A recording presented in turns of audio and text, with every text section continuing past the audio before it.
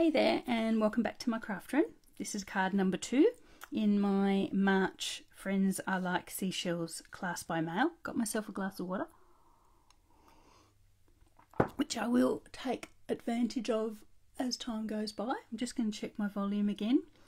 Uh, see how this webcam, this little lapel cam, Oh, yep, that seems right. Um, seems to be working okay, so let's hope that continues. I've fixed the light a little bit in, in, here, I think, just made the blinds a little bit more direct so there's no shadows on our work. But anyway, here we go. We're going to do card number two, and the other two are in, well, no particular order, though I must say I prefer this one to the last one. I'm not a pink person, so I really included the last card for the pink lovers out there, um, of which I am not one. Um, but hey, you know, got to cater for all sorts, and I'm sure it's lovely and will be useful for you, the last card, when we get there. But I do quite like this one.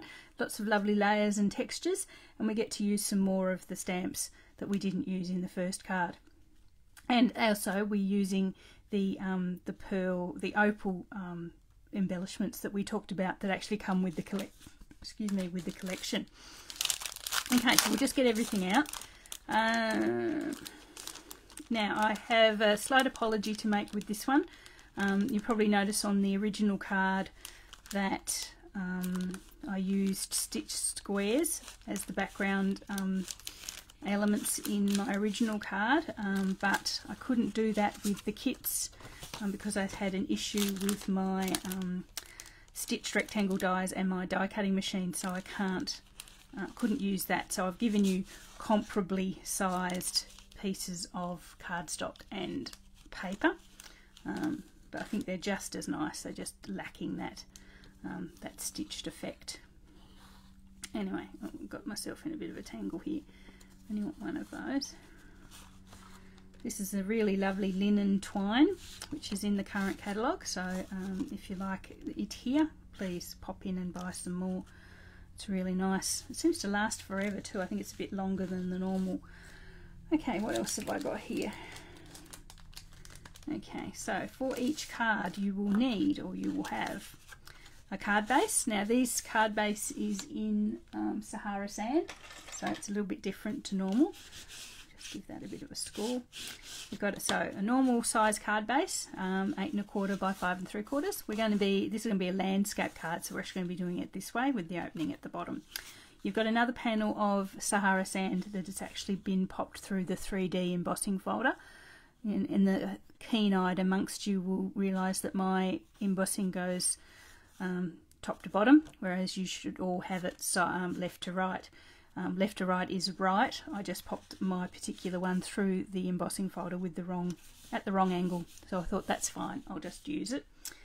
You have a panel of this really lovely designer series paper. So this is the first time today we've seen the designer series paper. It really is lovely. Um, it's got some nice sort of blues and things as well, but it really uses, this is um, Blushing Bride, and um, the Sahara sand as well. So it's really, really nice. Um, that actually might be um, Flirty Flamingo.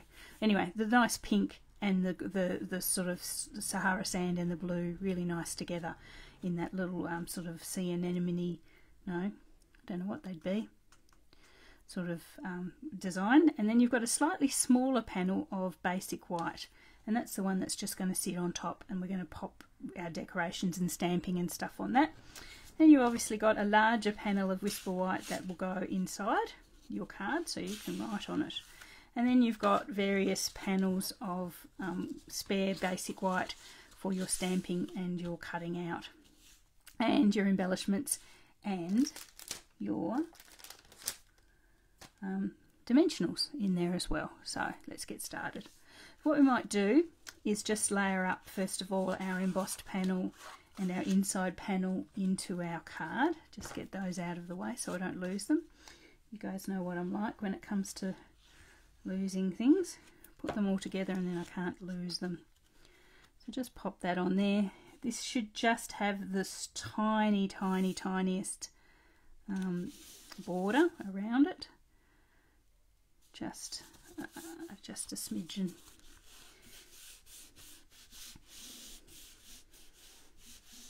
Now the um, do find with that 3D embossing panel it does actually distort, it weakens the paper somewhat. Um, so you might, once you've done this, um, pop the whole thing under a heavy book or something just to um, make sure the glue sets completely and you get a nice flat effect if that's what you like. You might like your things a little bit crinkly, so it's up to you. But at the same time, I might actually pop our um, uh, our designer series paper on. So we're going to glue that on and we're going to glue it towards the top right hand corner. So probably just bring it in, I don't know, a quarter of an inch top and bottom and that's where we're going to glue it. We're leaving a larger um, border towards the left and the bottom there. Just sort of an, a bit of an overlay effect. There we are, so just leaving that one and we'll glue that in there. So you probably wonder why I bothered popping that um, panel through the embossing folder, given that we're going to cover most of it over with um, stamping and images and things. I don't know, it just seemed too plain without it. I think I'm actually quite addicted to the 3D embossing folder and if it hasn't got some sort of embossing it just seems too plain. So there we are. That's my latest addiction. Okay I'm going to get that grab um, just some um, put it under a pile of stamps um, just to give it a little bit of pressure just while I, we do the rest of what we're doing. There we are okay so we might do our stamping now so we've got some scraps of basic white move everything out of the way so I don't forget where I am. And we're going to stamp the big, beautiful shell there. This, the two small um, sort of scallop shells and the, um, the little um, smaller of the two sort of um, conch shells as well.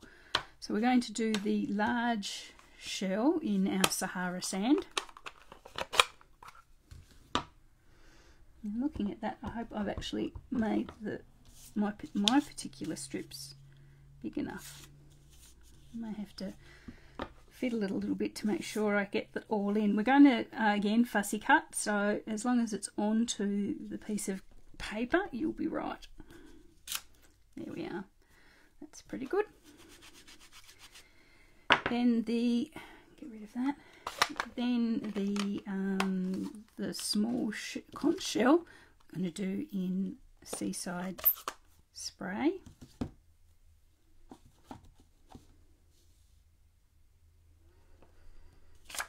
There we are. I do actually have a new Seaside Spray stamp head. That one's a little bit worse for wear. And our two little shells here, our two little scallop shells, scallop type shells please don't tell me in the comments that I've misnamed them. These are going to be in Blushing Bride.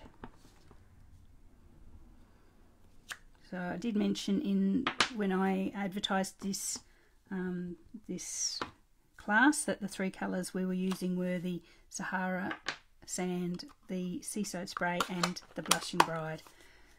So if you haven't got those colours and you want to get them, um, they're available in markers, blends, refills, stamp pads.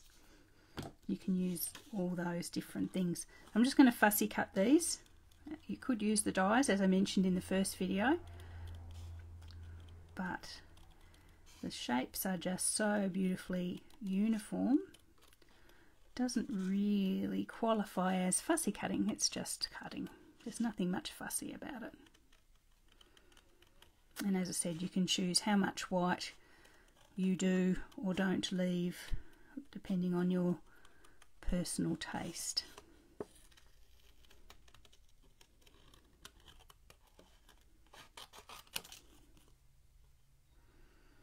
I don't usually fussy cut for videos but these are as I say pretty easy and quick.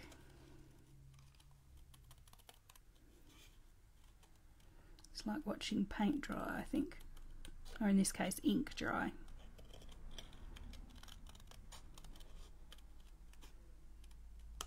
There's one, that's the biggest one.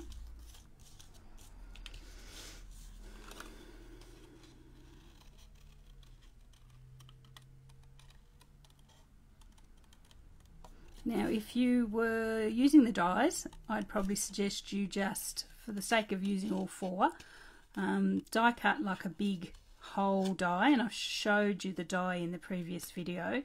Just die cut a whole die in Whisper White and then um, cut them down and stamp them separately I think would be the way to go. Because otherwise you're not going to be able to get your um, stamps in the right positions to uh, get them in the right for die cutting after you've stamped. There would be a way of doing it which I've featured in other videos but um, I think this is probably easier. You could use like a template if you wanted to. It seems to be a lot of mucking around though. Just four, four little images.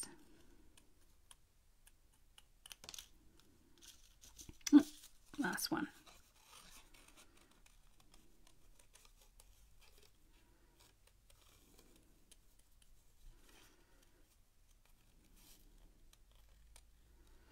and then we're pretty much going to just assemble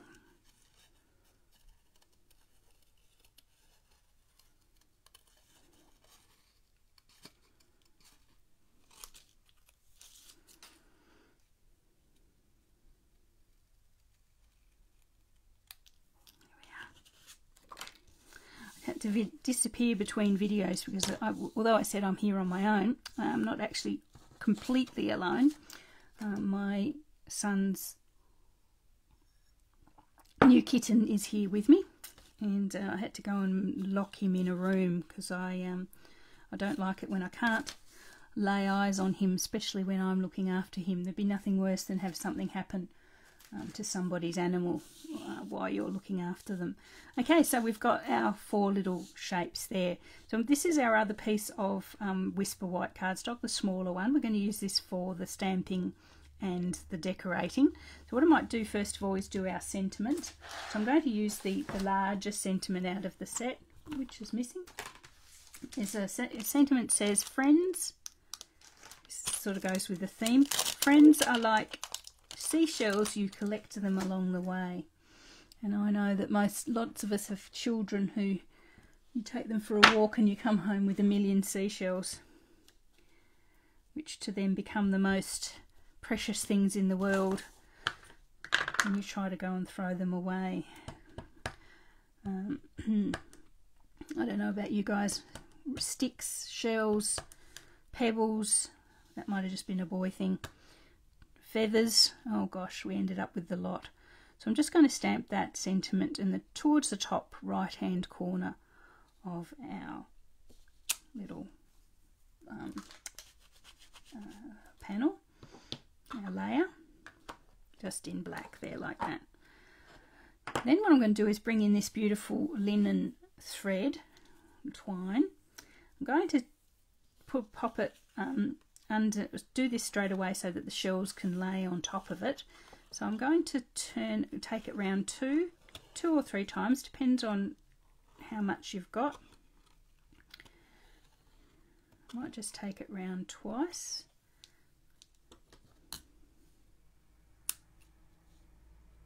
You should have enough twine to at least do it twice. And then I'll give it a little bow. So I'm going to tie a little bow over here towards the um, the right hand right hand side. Yeah, right hand side. Got my left and my right mixed up there for a minute.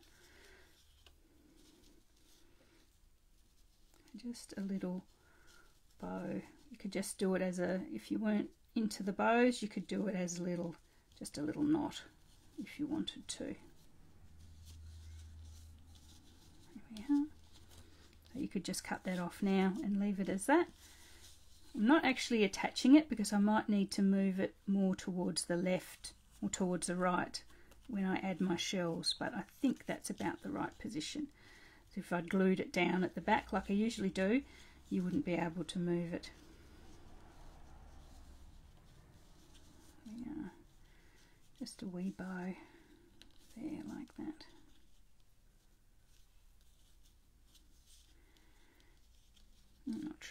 long end off. There we are.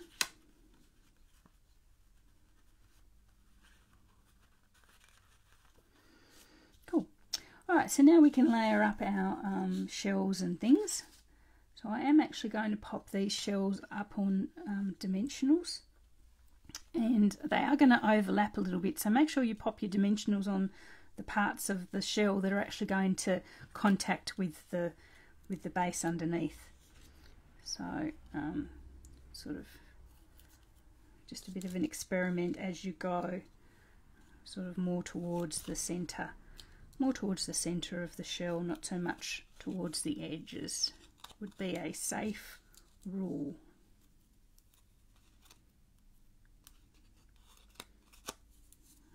Probably add some more than that. but I think probably the four, four or five will be okay. Okay.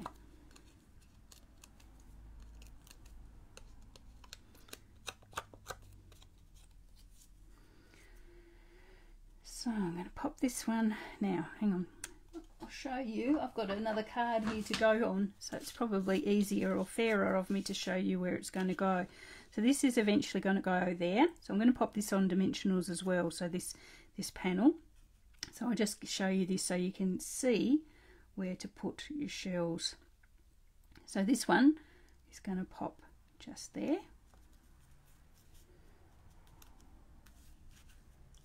Just like that. I'm going to bring in our blue one, our little blue conch shell. Pop dimensionals on the back of that as well. So it's going to pop just there, just sort of so its little nose is just on our um, our bigger shell there, a big spirally shell. So you can see where you need to put the dimensionals for him. So probably just up to halfway. Don't put one at his nose because then you'll you'll end up with dimensional build up, which is difficult. Just like that. You could pop a little bit of glue under there if that worries you, but I'm not going to bother with this at this stage. Here we are. Okay, so our little two pink shells, I'm going to bring those in just where those two shells are, just to, to just to complete the, the sort of corner effect of that. So I'm actually just going to glue this one because it's going to mostly overlap our big conch shell, our big round, uh, spirally shell. Oh, He's going to have to go that way now. That's where I've put the glue. There we are. And the little one, little scallop shell, just going to oh, phew, oh, landed glue side up. What a relief. I'm going to pop him there as well, just at a little angle. There we are. So you can see there, we've got them sort of forming a corner of shells there, aren't we? Sort of down towards that bottom left hand corner. And I'm okay with the position of that bow. I don't have to move it around too much. I'm quite okay with it there. Okay, so as I said, we're going to set this up on dimensionals as well.